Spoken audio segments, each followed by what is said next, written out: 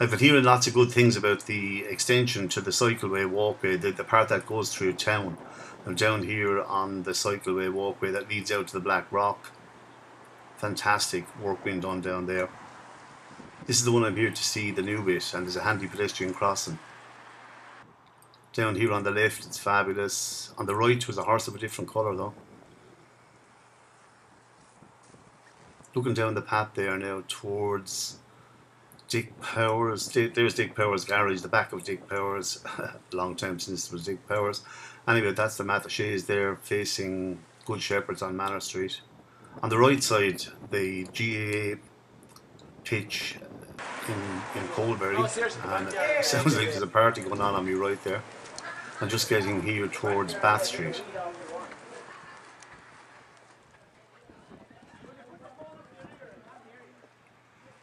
Looking down Poleberry there, back up Bath Street. That's Mount Sion in the distance there. We're looking up now, a little bit down the path, we're looking up towards Bunkers Hill. On the right hand side here, Bohs FC football ground. I remember this as the field that the circuses used to come to. That's Duffy Circus, Fossett Circus, Bertram Mills, and others. Heading down the path here, coming to this new road that comes off Johnstown.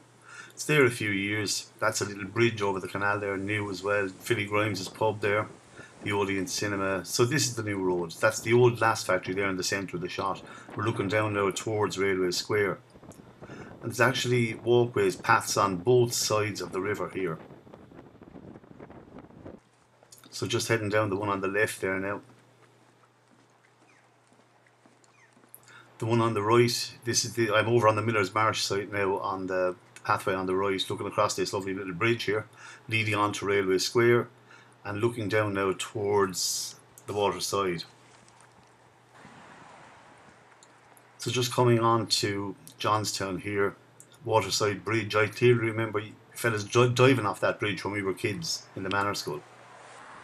Just coming on to Johnstown here now, and the Wanderina is still there.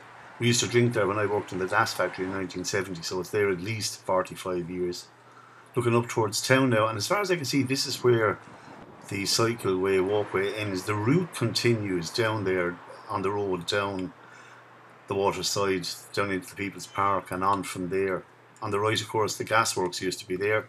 Okay, we're on our way back now on the Miller's, Miller's Marsh side. And I have to say now, it was lovely to walk with, but I don't think I met a sinner on the walk. Sunday afternoon.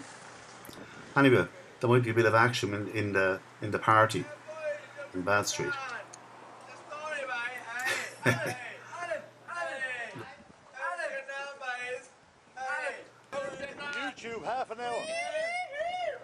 So there you go. The best bit came last. Great facility, loved it.